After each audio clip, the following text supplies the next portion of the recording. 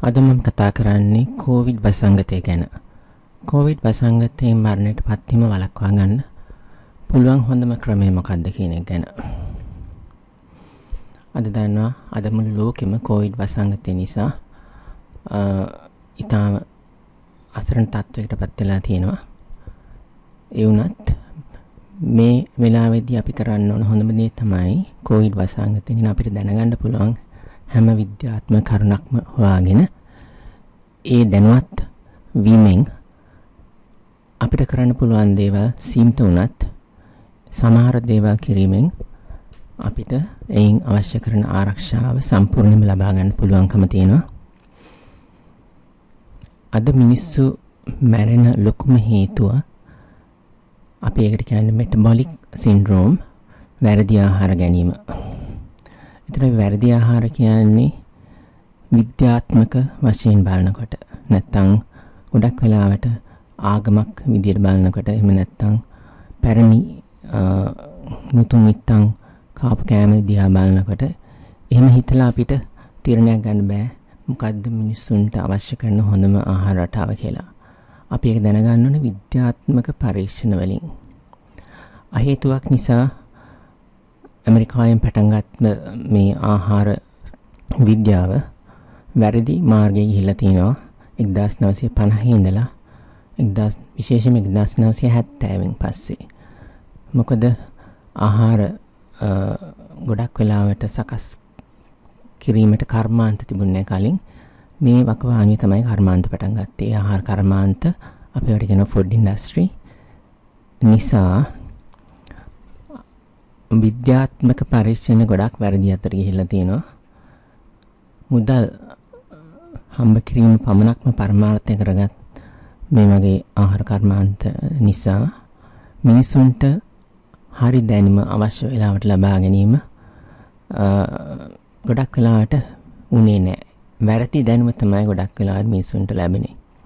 එතකොට අපි දැනගන්න ඕන අපිට අවශ්‍ය කරන ඒ ආහාර ගැන ඒ ආහාර වලින් අපි කොහොමද ලෙඩ රෝග වළක්වගන්නේ අපිට පුළුවන් මෙටබොලික් සින්ඩ්‍රෝම් කියන එක සම්පූර්ණයෙන්ම වළක්ව ගන්න. ඒ වගේම අපිට දැන් මෙටබොලික් සින්ඩ්‍රෝම් නිසා ලෙඩ රෝග හැදලා තියෙනවා. ඒක සම්පූර්ණයෙන් වළක්ව ගන්න පුළුවන්. හරි කෑම ආහාරයට ගැනීමෙන්.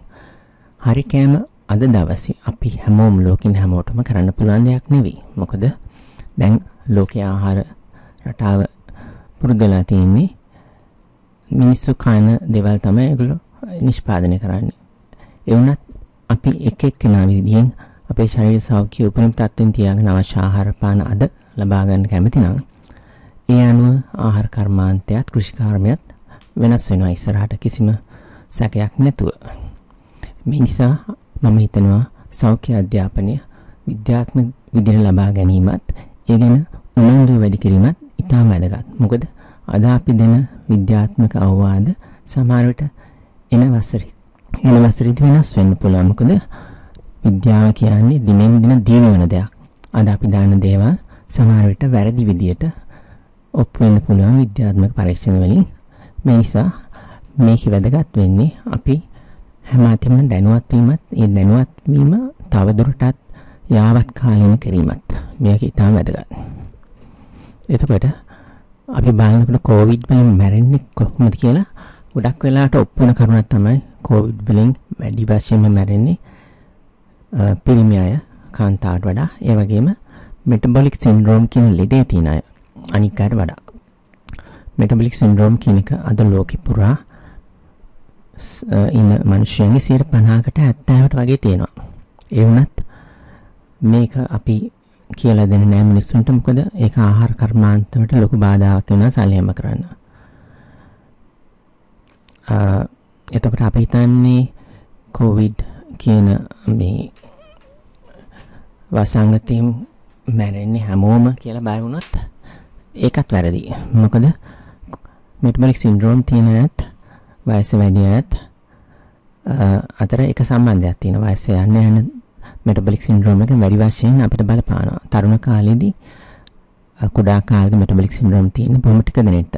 ඒ වුණත් ඒක අද දවසේ නම් පාසලෙන් දරුවන්ට පවා වැරදි කෑම නිසා මෙටබොලික් සින්ඩ්‍රෝම් හැදලා තියෙනවා. දියවැඩියාව කියන ලෙඩේ මෙටබොලික් සින්ඩ්‍රෝම් එකෙන් හැදෙන්නේ. මම විද්‍ය වෛද්‍ය විද්‍යාලයට යන කාලෙදී ඒක අපේ ජනගහනයේ 102කට වගේ තිබුණේ. ඇමරිකාවේ විශේෂයෙන්ම දිනු රටවල දැන් ඒක 10%කට 15කට වගේ වැඩි වෙලා තියෙනවා. මේ වැඩි වීමට එකම හේතුව තමයි වැරදි කෑම ආහාරයට ගැනීම. ගොඩක් වෙලාවට ආහාර කර්මාන්ත වලින් ව්‍යාප්ත කරන දෙයක් තමයි මිනිස්සු ඕනට වැඩිය කනවා හැබැයි ව්‍යායාම කරන්නේ ඒ නිසා තමයි මේ ලෙඩ හැදෙන්නේ කියලා. මේක සම්පූර්ණ අසත්‍යයක්. මිනිස්සුන්ට ලෙඩ හැදෙන්නේ වැරදි කෑම වලින්. කොච්චර ව්‍යායාම කරත් වැරදි කෑම කනවා නම් ලෙඩ රෝග වළක්ව ගන්න බෑ. මේ නිසා අනික මුලක් ව්‍යායාම කරන්න නැත්නම් ව්‍යායාම වැඩිවීමෙන් හැදෙන ලෙඩ රෝග තියෙනවා. ඒ වගේම හුඟක් ව්‍යායාම කරන අය වැඩි කල ජීවත් වෙන්නේ නැහැ. මොකද ඒගොල්ලෝ ඕනට වැඩිය ව්‍යායාම කරොත් ඒගොල්ලන්ගේ මාංශ පේශි වලට හදවත් වලට හානියක් වෙලා ඒගොල්ලෝ වැඩි කල ජීවත් වෙනවා කියලා හිතන්න අමාරුයි. අද ලෝකේ වැඩිපුරම ජීවත් වෙන ප්‍රදේශ අපි ඒවට කියනවා බ්ලූ zones කියලා. ඒ ප්‍රදේශවල මිනිස්සු ඕනට වැඩිය ව්‍යායාම කරන්නේ අවශ්‍ය ප්‍රමාණයට කරන ව්‍යායාම කරනවා. ඔවුන් ඒ විදිහට වැඩි කල ජීවත් වෙන්නේ ඔවුන්ගේ ආහාර රටාව සහ ජීවන රටාව නිසා. වෙන කිසිම හේතුවක් නිසා නෙවෙයි. ගොඩක් මේ වගේ තැන්වලට වෛද්‍ය විද්‍යාව ගිහිල්ලා නැහැ. ෆුඩ් ඉන්ඩස්ට්‍රි කියන දේවල් ගිහිල්ලා නැහැ. මේ නිසාම ඒගොල්ලෝ වැඩි කල ජීවත් වෙන්නේ. ගොඩක් වෙලාවට අවුරුදු 100කට වැඩිපුර ජීවත් අය රෝහලකට ගිහිල්ලා නැහැ. වෛද්‍යවරයෙක් දැකලා නැහැ කවදාකවත්. මේ වගේ දේවල් අපිට ගොඩක් අද කාලෙත් දකින්න ලැබෙනවා. ඉතින් අද අපි ගොඩක් අයට කියනවා මේ වැක්සිනේෂන්ස් වලින් අපිට ආරක්ෂාවක් ලබා ගන්න පුළුවන් කියලා. ඒක ඇත්ත. වැක්සින්ස් ගොඩක් හොඳට වැඩ කරනවා. ඒ වුණාට දීර්ඝ කාලන වශයෙන් වැක්සීන් වලින් කොවිඩ් පාලනයක් කරන්න පුළුවන්ද කියන එක ගැන මට සැක සහිතයි. මොකද කොවිඩ් කියන වෛරසය ඊටාම ශීඝ්‍රයෙන් මියුටේට් වෙනවා. ඒ කියන්නේ අද වේරියන්ට්ස් කියන මියුටේෂන්ස් සහිත අලුත් පන්නේ කොවිඩ් වෛරස් අපිට දකින්න ලැබෙනවා ලෝකේ හැමතැනම මේවා මුළු පටන් ගන්න තියෙනවා. අපි කලින් කිව්වා දැනුත් කියනවා මේ වෛරස් එක මියුටේට් වෙන වළක්වන්න ගොඩක් අය ඉමුනයිසේෂන් එකට යන්න ඕනේ කියලා. මේකේ තියෙන්නේ බාගෙට ඇත්තක්. මොකද අපි හැමෝම ඉමුනයිසේෂන්ස් වල ගියත් වේරියන්ට්ස් වලින් හැදෙන ඒ රෝග කොවිඩ් රෝගය වළක්වන්න බෑ. මොකද සමහර වෙලාවට වේරියන්ට්ස් වලට ඉමුනයිස් කරපු අය එහෙම නැත්නම් වැක්සිනේෂන් ලබාගත් අයට ලෙඩ රෝග හදන්න ලේසි. මේ නිසා ඒ වගේ වැක්සිනේෂන් වැඩිපුර ගත පළාත්වල වේරියන්ට් ඉතාම ශීඝ්‍රයෙන් පැතිරෙන්න පුළුවන්. මේක විද්‍යාත්මක පරීක්ෂණ වලින් ඔප් වෙලා තිනවා. ඒ වගේම අපි දන්නවා ඇමරිකාවේ අද වුණත් සාමාන්‍යයෙන් කොවිඩ් හැදෙනාගෙන් 1.7ක් තමයි මරණයටපත් වෙන්නේ. ලංකාවේ මේ ප්‍රතිශතය මිදට අඩුයි. මොකද ලංකාවේ මෙටබොලික් සින්ඩ්‍රෝම් කියන එක ඇමරිකාවට වඩා අඩුයි. ඒ වගේම අපි දන්නවා සම්පූර්ණයෙන් වැක්සිනේෂන් ලබාගත් අයගෙන 1.4ක් කොවිඩ් වලින් මරණයටපත් වෙනවා. ඉතින් සම්පූර්ණ සම්පූර්ණයෙන් කොවිඩ් වලින් වළක්වන්න අපිට ඉමුනයිසේෂන් වලට වඩා වැඩිපුර දේවල් කරන්න වෙනවා. එතන මේක තමයි මේ පින්තූරෙන් පෙන්නන කරන්නේ අපි මෙටබොලික් සින්ඩ්‍රෝම් කියන්නේ ඉස්සර කාලේ වෛද්‍ය විද්‍යාවල කියලා දුන්නේ high blood pressure, high glucose level, high lipid profile, බඩ ගොඩක් වැඩි වීම සහ අඩුවෙන් LDL කියන කොලෙස්ටරෝල් ඇඟේ ඇතිවීම. හැබැයි අද අපි මීට වැඩි දේවල් දන්නවා. අද අපි දන්නවා ගොඩක් මහත නැති අයටත් මෙටබොලික් සින්ඩ්‍රෝම් තියෙනවා.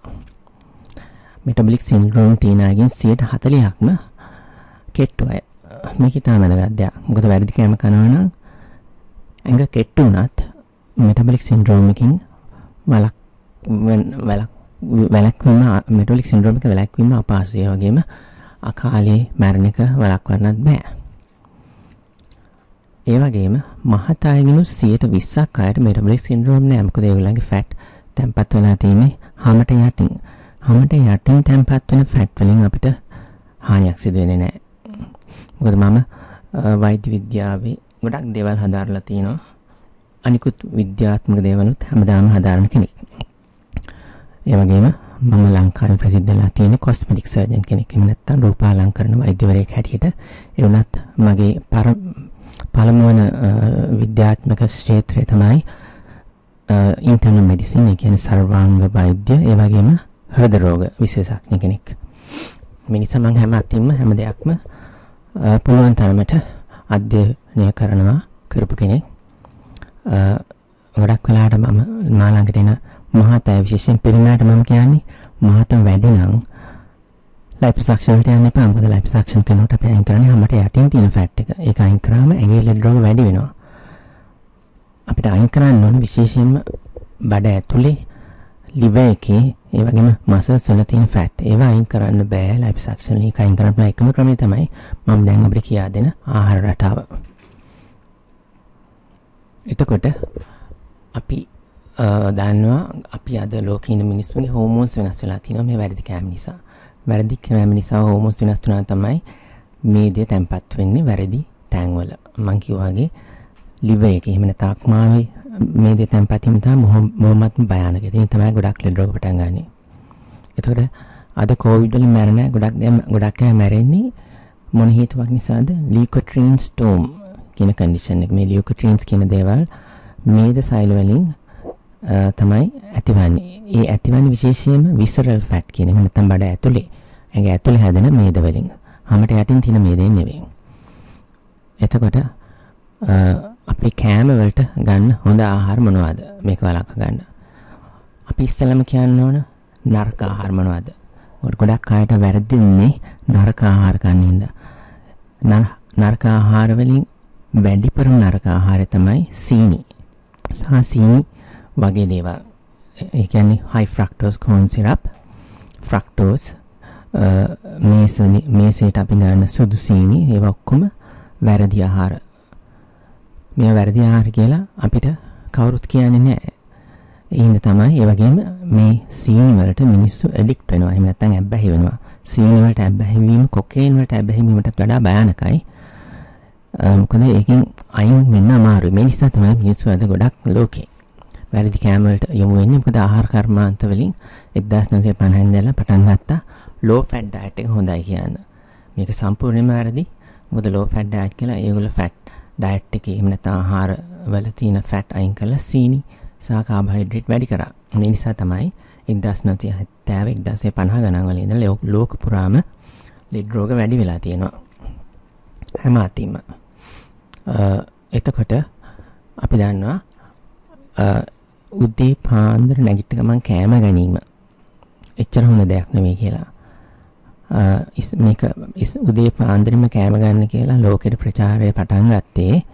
ආහාර කර්මාන්තය පටන් ගන්නත් ඉස්සෙල්ලා මේ හැබැයි ඒක කිසිම විද්‍යාත්මක පදනමක් නොමැති දෙයක්.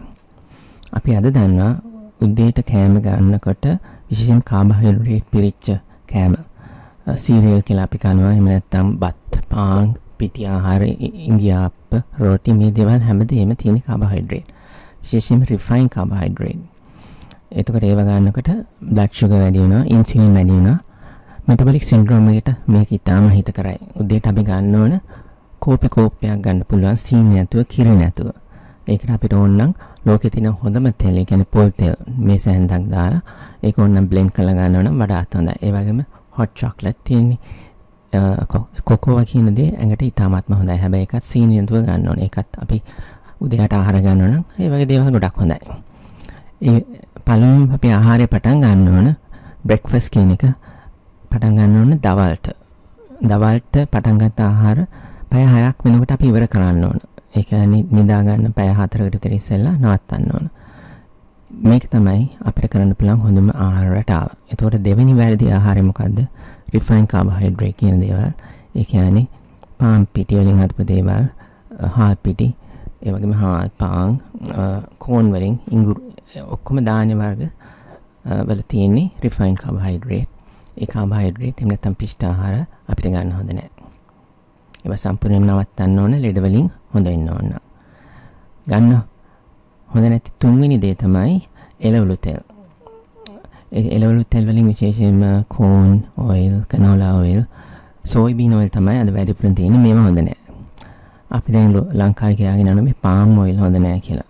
හැබැයි red palm oil coconut oil වලට අනතුරුව දෙවැනියට ලෝකේ තියෙන හොඳම තෙල් වර්ගය. තුන්වෙනි එක තමයි ඔලිව් ඔයිල්. හතරවෙනි එක අපි කියනවා අවකාඩෝ ඔයිල්, මැකඩීමියා ඔයිල්. මේ තෙල් වර්ග හැරෙන්න කිසිම තෙල් වර්ගයක් ශරීර සෞඛ්‍යයට අහිත කරයි.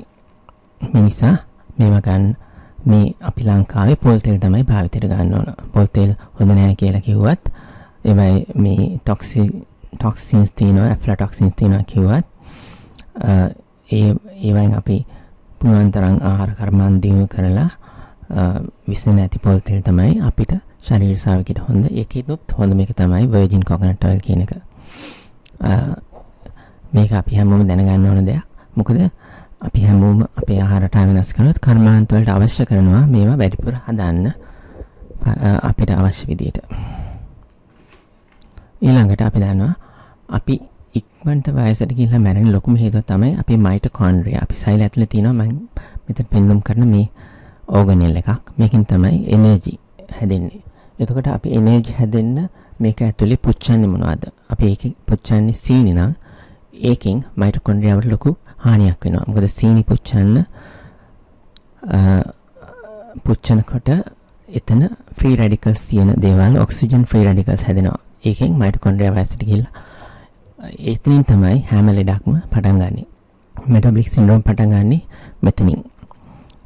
එතකොට අපි human evolution අපි මිනිස්සු කොහොමද ලෝකෙට ඇවිල්ලා ජීවත් වුනේ? අපි අවුරුදු මිලියන දෙකක් ජීවත් වෙලා තිනවා. ඒ මිලියන් දෙකකින් වැඩිම කාලයක් ජීවත් වුනේ hunting and gathering. ඒ කියන්නේ දඩමේ ගිහිල්ලා එහෙම නැත්නම් එළවලු වර්ග gathering gather කරගෙන එකතු කරගෙන කාලා. ඒ විදිහට. එතකොට මිනිස්සු වැඩිපුර කෑවේ මාළු මස් වර්ග ෆවුල් ඒ කියන්නේ සමහර කුරුල්ල මරලා කෑවා. විශේෂයෙන්ම චිකන් වගේ දේවල්. බිත්තර කෑවා. වෙජිටබල්ස් කෑවා. ෆෘට්ස් නට්ස් සීඩ්ස් කෑවා. සමහර මිනිස්සු ඉන්සෙක්ස් කෑවා. ක්‍රොමින් වර්ග. මේව තමයි අපි අවුරුදු මිලියන දෙකක් තිස්සේ කෑවේ එතකොට තව එකක් කියන්න ඕන අපි මිනිස්සු මාළු කෑවේ නැත්තම් එහෙම නැත්තම් මස් කෑවේ නැත්තම් සත්වයන්ගෙන් ගන්න මේ දේ ගත්තේ නැත්තම් අපේ මොලේ මේ තරම් හොඳට හැදෙන්නේ නැහැ. අපි ভেජිටබල්ස් වලින්ම ජීවත් වුණොත් එතකොට මොලේ වර්ධනය අඩු වෙලා යනවා. මෙහෙම කාලයක් අපි ভেජිටේරියන් විදිහට හිටියොත් මොකද වෙන්නේ? තව අවුරුදු තව 10000ක් විතරනට අපේ මොලේ අඩු වෙලා අපි දැන් මිනිස්සුන් කියලා අපි මිනිස්සුන්ට කියලා අපි කියන්නේ මොකද අපිට මොලේ වැඩියෙන් තියෙන හින්දා. අපේ මොලේ විතරක් නෙවෙයි අපේ cognitive abilities ගොඩක් උපරිම තත්ත්වෙන් තියෙනවා. දැන් අපි දන්නවා අවුරුදු 10000ක් ඇතුළත මිනිස්සු කෑම වෙනස් කරා. මොකද ඇග්‍රිකල්චර් කියන එක ආවේ ඒ කාලේදී.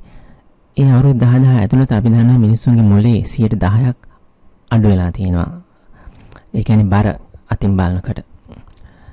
ඒ නිසා මේක ආහාර හරියට ගැනීම ඉතාම වැදගත්. අදට විතරක් නෙවෙයි අපි ඊළඟට එන පරම්පරාවටත් මේක ඉතාම වැදගත් වෙනවා. එතකොට දැන් හෝමෝන්ස් ගැන කතා කරා විස්රල් ෆැට් කියන්නේ මොනවද කියලා කිව්වා හොඳ නරක ආහාර මොනවද කියලා කිව්වා ඒ වගේම සමහර අය හිතනවා ඔව් අපි සීනි අඩු කරොත් කොහොමද පැණි රස දේවල් කන්නේ අපිට හොඳයිද මේ පැණි රස වෙනුවට ගන්න පුළුවන් දේවල් තියෙනවා නේද ඇස්පාර්ටේම් ඒ වගේම ඒ වගේ දේවල් ගොඩක් තියෙනවා ලෝකේ ඒවත් ගන්න හොඳ නැහැ මොකද මේ පැණි රස හැදෙනකොට ඉන්සියුලින් වැඩිපෙන් සික්‍රීට් වෙනවා එතකොට මෙටබොලික් සින්ඩ්‍රෝම් එකට යන ගොඩක් ලේසි.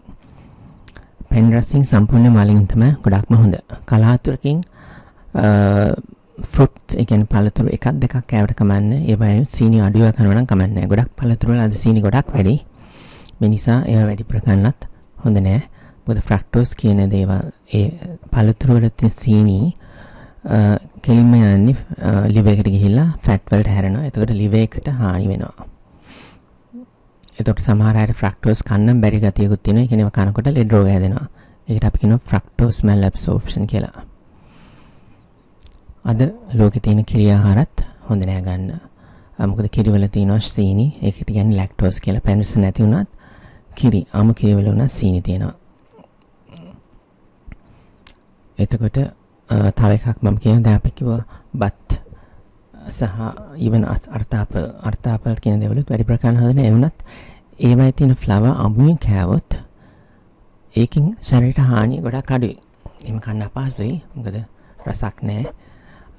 ඒ වගේම සමහරට අජීර්ණ වෙන්නත් පුළුවන්. ඒ වුණත් අමුවෙන් කෑවොත් ඒව ඇඟට ඇබ්සෝබ් වෙන්නේ sugar විදිහට නෙමෙයි. ඒවා අපි ගිහිල්ලා අපේ කෝලොන් එකට යන්නේ. මහා බඩවැලේ තියෙන බැක්ටීරියා වලින් මේ දෙයට පරිවර්තන කළා මේ දේ විදිහට තමයි ඇඟ ඇතුළට එන්නේ. එතකොට මේක තමයි අපේ ආහාර රටාව වෙන්න ඕන. අපි ගොඩක්ම කන්න ඕන vegetables. මොකද vegetables වල තමයි antioxidants වර්ග තියෙනවා, vitamin වර්ග තියෙනවා. අපි මිනිස්සු මිලියන දෙකක් තුල වැඩිපුරම කෑවේ මේ ගැදර් කරලාගත්ත vegetables වල. ඒතර root vegetables කියලා අපි ඒවට කියන්නේ රූට්ස් කියන්නේ beetroot, carrots වගේ දේවල්. එතකොට අලබතල වර්ග ඒවා හොඳයි. සමහර වෙලාවට අපි green vegetables ගොඩක් හොඳයි කියලා කියනවා. මේ හොඳ vegetables මොනවද කියලා මොකක් මොකක් හොඳට ඉගෙනගෙන ඒ vegetables කන්න ඕන. ඔයිල් ගන්න ඕන. අපි කන මේද ප්‍රමාණය හුඟක් අඩුයි. මොකද අපි පිටි ආහාර ගන්න. ඒතකොට පිටි ආහාර නැත්නම් මේ වෙනුවට අපි ගන්න ඕන පොල් තෙල්, ඔලිව් තෙල්, වැනි තෙල් වර්ග. ඒ වගේම සත්ව ආහාර වලින් මාළු තමයි හොඳම. මොකද අපිට ඔමේගා 3 අත්‍යවශ්‍යයි. මාළු වලින් පොඩි මාළු තමයි වඩාත් හොඳ. බිත්තර කෑවට කමන්නේ. ඒ වගේම මේ අවස්ථාවේදී මතක් කරන්න ඕනේ කොලෙස්ටරෝල් වලින් හදවත් රෝග හැදෙනවා කියලා අවුරුදු 70ක් තිස්සේ ඒ කියන්නේ 1950 60 ඉඳලා වෛද්‍ය විද්‍යාවෙන් කිව්වා මේවා බොරු කියලා දැන් ඔප්පු වෙලා තියෙනවා. කොලෙස්ටරෝල් වලින් නෙවෙයි හදවත් රෝග හැදෙන්නේ මේ වැරදි ආහාර වලින්. එතකොට අපි LDL කියලා කිව්වට LDL වලින් ලෙසන LDL වර්ග දෙකක් තියෙනවා. එකක් තියෙනවා fluffy and big. ඒ කියන්නේ large LDLs අපේ ඇඟට හොඳයි. ඒකෙන් අපේ ශරීරය ආරක්ෂා කරනවා. ඒ large LDL හැදෙන්නේ සත්ව ආහාර වලින්, සත්ව තෙල් වලින් එහෙම නැත්නම් පොල් තෙල් වගේ දේවල් ගන්නකොට. ඒ ඒ වෙලා ඒ large LDL හැදෙන ආහාර වලින් තමයි HDL වැඩිපුර හැදෙන්නේ. triglycerides සහ වැරදි LDL එක. ඒ කියන්නේ පොඩි කුඩා LDL වලින් තමයි හදවත් රෝග හැදෙන්නේ. ඒව හැදෙන්නේ මොන කෑම වලින්ද? ඒව හැදෙන්නේ සම්පූර්ණයෙන්ම පිෂ්ඨ ආහාර වලින්. සීනි වලින්. ඒතර මේ ආහාර සම්පූර්ණයෙන්ම අපි වෙනස් කරාම අපිට හදවත් රෝග ගැන බය වෙන්න කිසිම හේතුවක් නැහැ. හරියට කැම කරනවා නම් අවුරුදු 120ක් 40ක් වුණත් ජීවත් වෙන්න මිනිස්සුන්ට හැකියාව තියෙනවාද?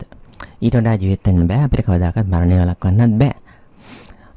මොකද අපි ඇවිල්ලා ජීවත් වෙන්න පුළුවන් සීමාවක් තියෙනවා. ඒ සීමාවට වැඩි අපිට කවදාකවත් ජීවත් වෙන්න බෑ. කොච්චර හොඳට ආහාර ගත්තත්. හැබැයි වැරදි ආහාර ගත්තොත් අපිට එතෙන්ට ළඟා වෙන්නවත් අවස්ථාව ලැබෙන්නේ නැහැ. ඒතර ගන්න හොඳ නැති කෑමක් නම් මම කිව්වා සීනි විශේෂයෙන්ම vegetable oils, grains සමහර අයට පීනට්ස් වගේ දේවල් වුණත් හොඳ නෑ. මොකද ඇලර්ජිස් තියෙනවා නම්. හැබැයි ධාන්‍ය වලින් ගන්න පුළුවන් අවශ්‍ය නම් කඩල මුංගට පරිප්පු වගේ දේවල්. මොකද ඒවයි තියෙන කාබෝහයිඩ්‍රේට් අඩුයි. ඒවා සීමාවකට ගන්න එක කමක් නෑ. මොකද ඒවයි ප්‍රෝටීනුත් තියෙනවා. විශේෂම කියන්නේ අපි වයසට යනකොට ප්‍රෝටීන් අඩු වීමත් හොඳ නෑ. ප්‍රෝටීන් අවශ්‍ය තරමට තියෙන්න ඕනේ. මොකද ගොඩක්ම අවුරුදු 100 110 පහ වෙනකොට මාංශ පේශී හීනතාවයෙන් තමයි ගොඩක් අය මැරෙන්නේ. අනික් ලෙඩ රෝග වලින් නෙමෙයි. මොකද එච්චර වයසට යනකොට ඒ කියන්නේ ඒගොල්ලෝ අවුරුදු 70ක් 90ක් හොඳ කෑම කාලා තියෙනවා. හරි විදියට කෑම කාලා තියෙනවා. වැරදි කෑම කාලා එච්චර කාල ජීවත් වෙන්න බොහොම අමාරුයි. එතකොට ඊළඟට අපි දන්නවා අද ලෝකේ වීගනිසම් කියන එක පැත්ත ත්‍රීගෙන යනවා. ඒක ලෝකෙට හොඳයි කියලා කියනවා. ඒක ලෝකෙට හොඳ උනත් මිනිස්සුන්ට නම් හොඳ නෑ. මොකද මිනිස්සයා කියන්නේ මොලේ වැඩියෙන් තියෙන ඊටම ඉන්ටෙලිජන්ට් සත්වෙක්.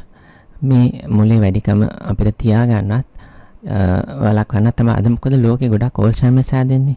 ඒ හැදෙන්නේ අපේ ආහාර රටාව වැරදි වුණ නිසා. ඉස්සර කාලේ ඕල්සයිමර්ස් කියන ලෙඩේ තිබුණේ නෑ. ඩොක්ටර් කෙනෙක් හිටියා ඩොක්ටර් ප්‍රෙස්ටන් කියලා එයා ලෝකෙ පුරාම පැරණි ආහාර ගන්න ට්‍රැඩිෂනල් ෆුඩ් ගන්න අය ගැන පරීක්ෂණ කරා 1900 ගණන් වල මුල් කාලෙදී.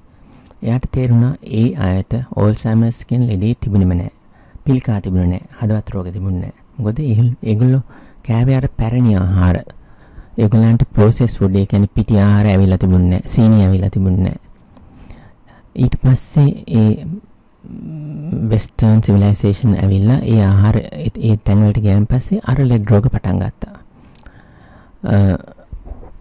මේ නිසා අද වුණත් අපි හරි ආහාර ගන්නවා නම් අද මිනිස්සු වැඩිපුරම මැරෙන මෙටබොලික් සින්ඩ්‍රෝම් එක නිසා හැදෙන හදවත් රෝග, පිළිකා, අංශභාග, ඕල්සයිමර්ස් වැනි ලෙඩ රෝග අපිට හැදෙන්නේ නැහැ කවදාකවත්. එතකොට අපි ව්‍යායාම වැඩිපුර ගන්න කියලා කිව්වත් ව්‍යායාම කරනකොට ඕනවට වඩා කරොත් අපේ හදවත හදවතේ රේට් එක කියන්නේ හදවත ගැහෙන රේට් එක 160 අඩු කරන්න ඕන අපේ වයස. අපේ වයස 60ක් නම් 160න් අඩු කරාම 100ක් එනවා. අපේ හදවතේ රේට් එක 100ට වැඩිය වැඩි වුණොත් එක්සර්සයිස් කරනකොට ඒකෙන් අපේ හදවත හානියක් වෙනවා. ඉතින් ඔබ ඔබේ වයස අඩු නම් 160න් අඩු කරලා බලන්න.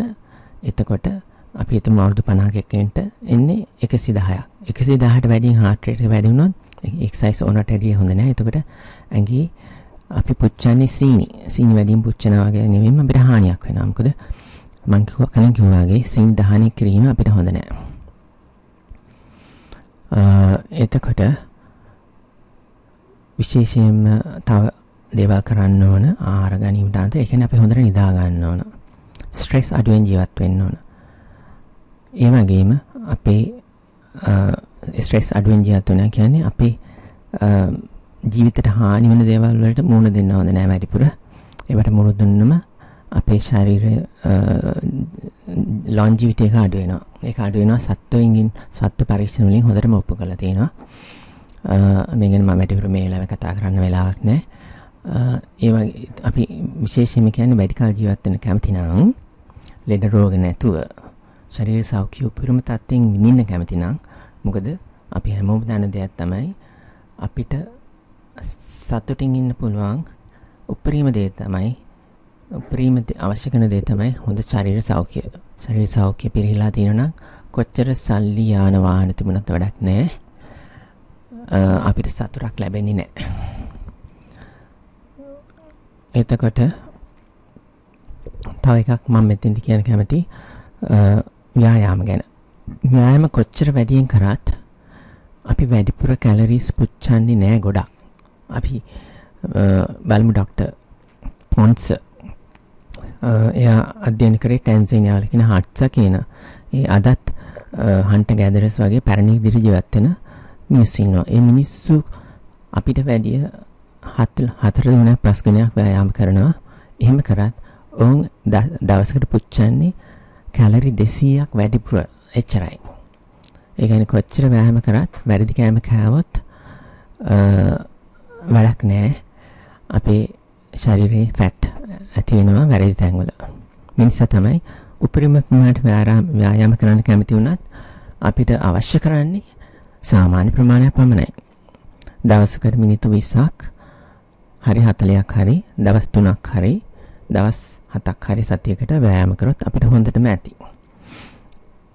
එතකොට මේ වගේ ලෙඩ රෝග ඔබට දැනටමත් තියෙනවා නම් මේ ලෙඩ රෝග වලින් හොඳ වෙන්න අවශ්‍ය කරන හොඳම දේවල් තමයි ෆුඩ් සප්ලිමන්ට්ස් විටමින්ස් වර්ග තියෙනවා. දැන් අපි හොයාගෙන තියෙනවා නවයක් තියෙනවා. ඒ අපිට ආහාර වලින් ලැබෙන අඩුවෙන් මේවා ගැනීමෙන් ඉක්මනට හොඳ වෙන්නත් පුළුවන්. හරි ආහාර රටාට ගියොත් කවදා හරි මේවා ලෙඩ හොඳ වෙනවා. මොකද ඒ හරි ආහාරවල අවශ්‍ය ප්‍රමාණයට මේ විටමින් නැති වුණත් ප්‍රමාණයකට තියෙනවා. ඉතින් මේ වගේ දේවල් ගැන වැඩිපුර දැනගන්න ඕන නම් අලුත් විද්‍යාත්මක ක්‍රම වලින් ඔබේ ලෙඩ රෝග හොඳ කරගන්න කැමති නම් වැඩිපුර විස්තර ලබා ගන්න මම මෙතන මගේ ෆෝන් නම්බර් එක ඇතුළත් කරලා තියෙනවා.